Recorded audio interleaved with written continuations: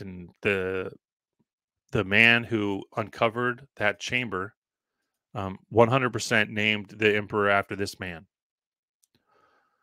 Tigernumps, right? Son of Folak, son of Ithriel, a descendant of Urimon, was according to medieval Irish legend and historical traditions the early High King of Ireland.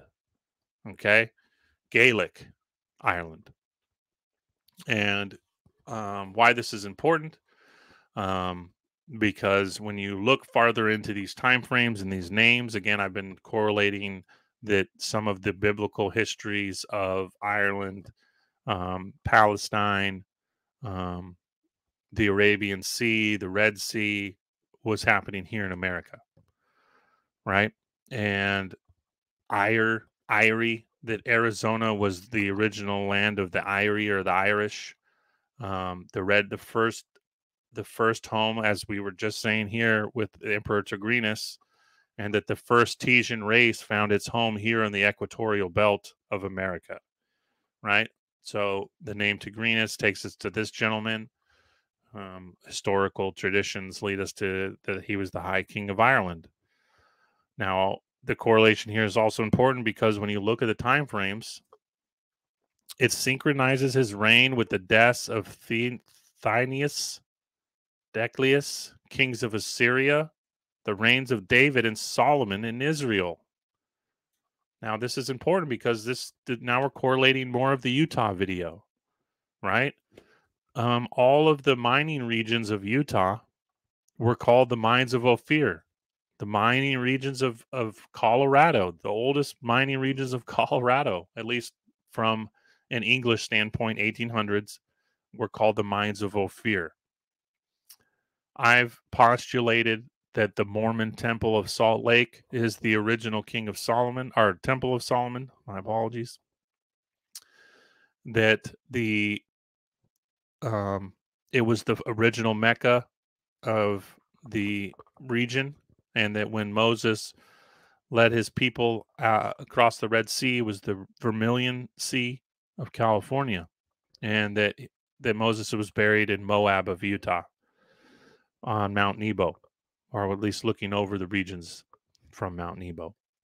And we're the, the, again, this is all a stretch, but seeing more and more the correlations again with, you know, Arizona got its name from the Irie. We're finding more and more people in the late 1800s saying that the Tesian race it finds its oldest historical placement here in America, here in Arizona, Arizona, here in Colorado, here in Utah. Now here we are, episode eight, New Mexico. And the timelines are overlapping with the kings of Assyria. Now, Assyria is, as I've been postulating and finding lots of uh, historical evidence for in these newspapers, Assyria was along the Mississippi Valley now we're finding correlations between the pottery, the language, the iconography, right? All along this same area, the equatorial belt. You know, it extends farther, but in this time frame we're discussing, you know, post these cataclysms, whatever they were, several of them. And um yeah, so really interesting connection here. Um important to remember and here's another little segment he sent me. This Tirinamas, or Tigrinus, was the monarch who set up the fabulous idol called Crom Crunch. Now, this is important. Idols were found all over this region, lots of them. Sun worship is very much connected to this as well. Now, the next article we're going to read, we're going to talk about the Druids of New Mexico. This idol, Crom Crunch, was worshipped up to the time of St. Patrick. Now, what did we just describe? The, the most important symbol in the painted chamber, the burial tomb of Emperor Tigrinus, was the serpent. The most important sacred symbol in the painted tomb, I'm repeating this, was the carved serpent. Now, in Colorado, we find carved serpents um, that look like Chinese serpents, quote Chinese, right? We find the same thing in Utah and the same thing in California. The serpent was a potent symbol like the swastika that connects a lot of these people together, right? And this idol was worshipped until St. Patrick. And what did St. Patrick do? Well, he drove the serpents, quote, the serpents out of Ireland. Well, there are no snakes in Ireland, but there are tons of snakes in the American Southwest, all over. And the only remains of a dragon ever found in a cave in Utah. If you saw my Utah video, you'll remember um, the prospector finds the hundred and foot long skeleton of a dragon in a cave 50 feet below ground. And um, he won't give up the location of it. And then who, who's who's called? The Smithsonian's notified because this guy's looking to get paid. And the Smithsonian offered him 50 grand, and you never heard about it again. Okay. This is like 1877. 50 grand in 1877. That's a lot of money. Okay. The Smithsonian was paying exorbitant amounts of money. And who were they getting their funding from? Well, stay tuned to my Smithsonian video and we'll get into that a little bit more. This mar- this monarch introduced now also if you haven't seen my Arizona video, and I I apologize, but, but this is important because I make a lot of correlations here. The first monarch of Arizona, we talk about the monarch, the king, the six-toed giant king dug up in Arizona, who was wearing the mitre. Okay, the bishop's mitre. Okay, this monarch introduced certain distinctions among the Irish, being wearing certain colors, which certain person believed to have the origin of the Scotch plaid. You guys, this is huge. Okay, this is the tartan. Scotch plaid is tartan. Now, who was wearing the tartan? Well, many of the ancient races from Montezuma all the way up until you know some of these um, quote Aboriginal tribes at the Gulf of Mexico that Longo's done such a good great job of talking about. Okay, so the tartan was assigned by this man as a distinction of rank. Important.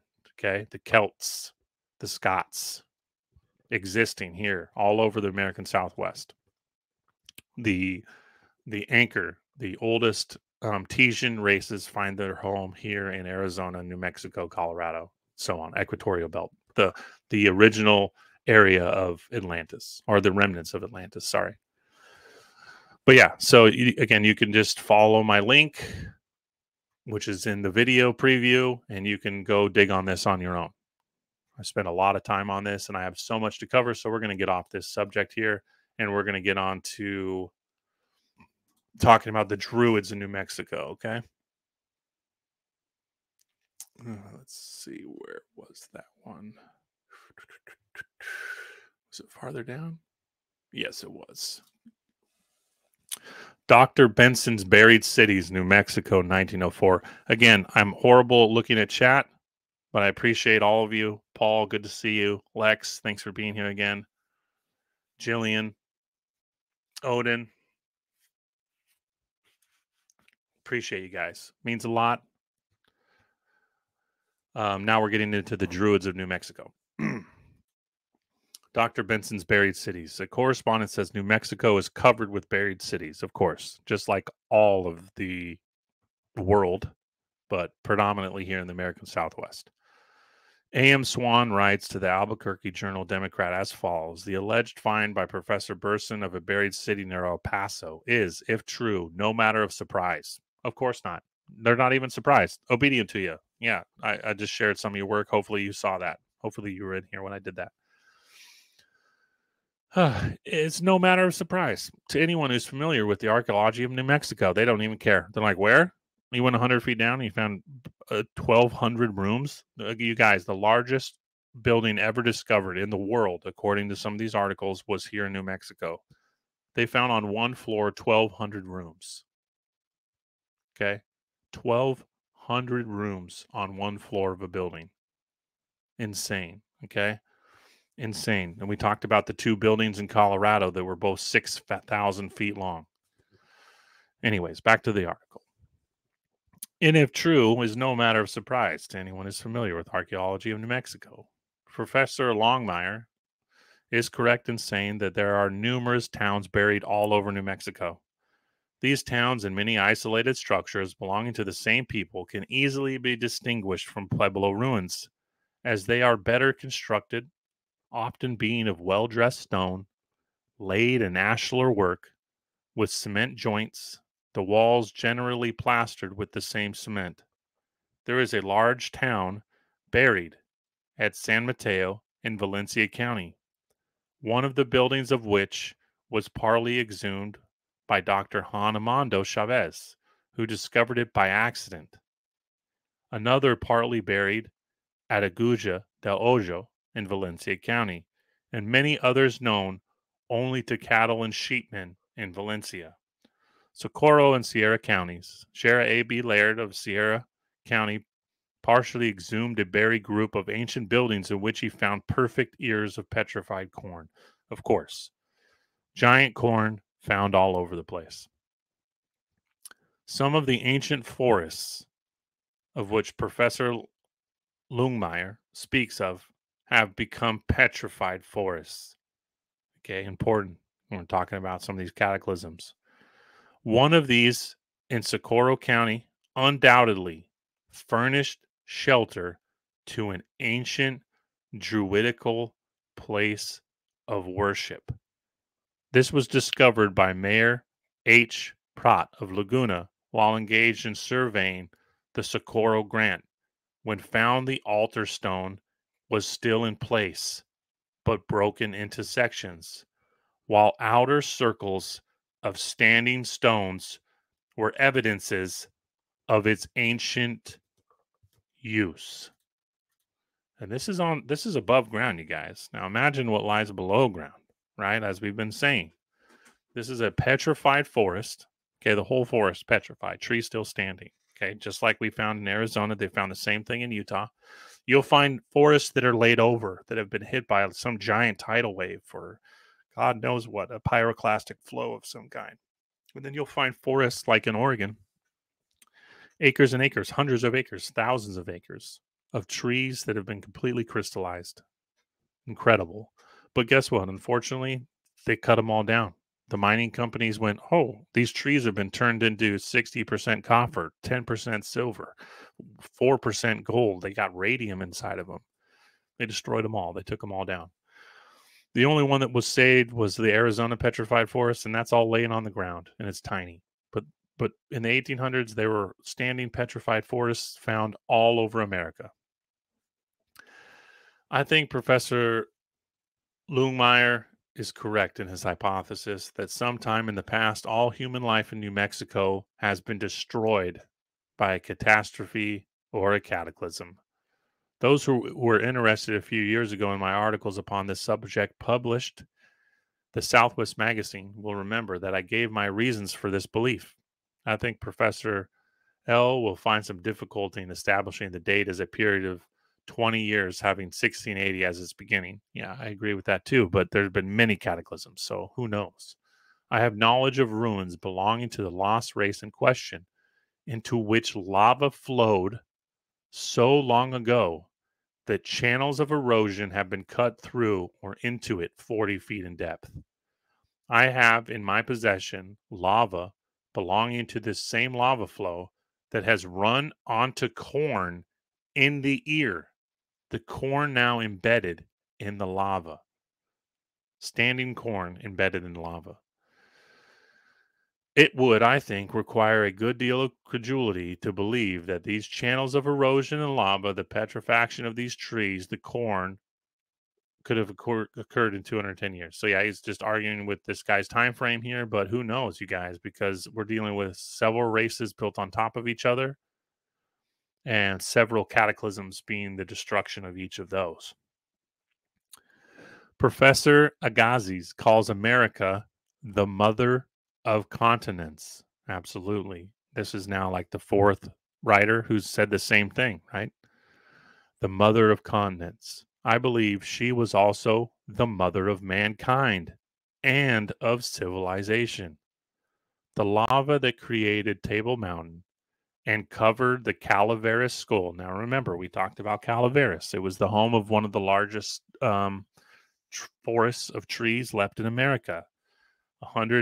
150 feet down, they found a skull of a giant, one of the oldest um, skeletons ever found in the world Again, I don't necessarily agree with the time frames, but we're talking about civilization on top of civilization on top of civilization, right? That's where we're at. Three or four civilizations deep.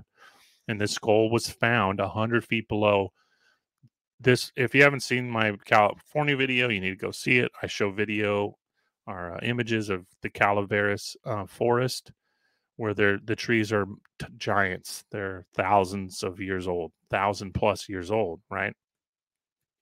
and this skull was found hundreds of feet below this, right? Not to mention Calaveras County is where we're finding 50 foot horses.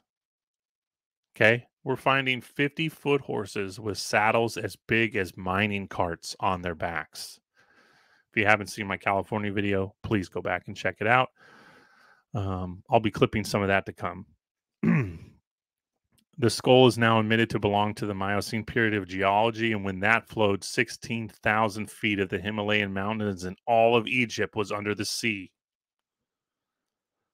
Yeah, America is the mother of continents.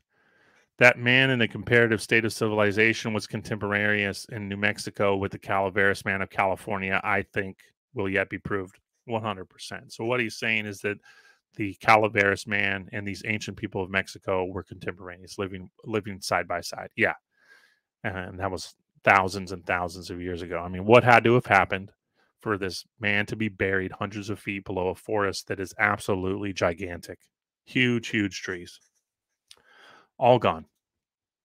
So yeah, love that druidical place of worship, standing stones, the eyrie, as we were saying